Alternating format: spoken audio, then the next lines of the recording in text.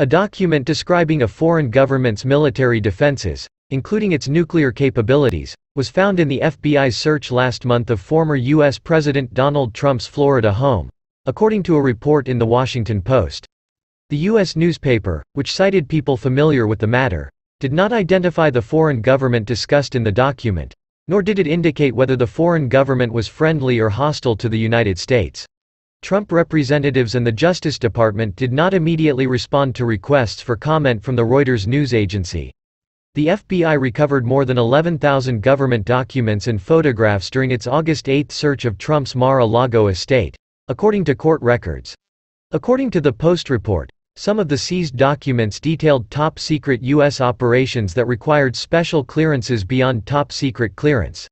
Some of the documents are so restricted that even some of the Biden administration's most senior national security officials were not authorized to review them, the Post said.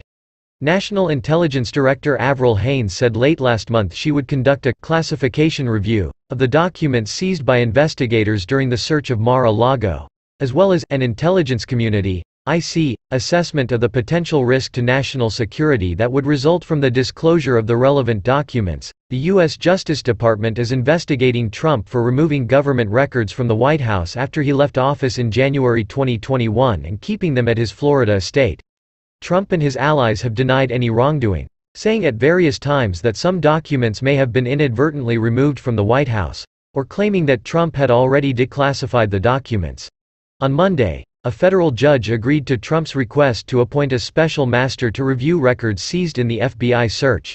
A move that is likely to delay the Justice Department's criminal investigation.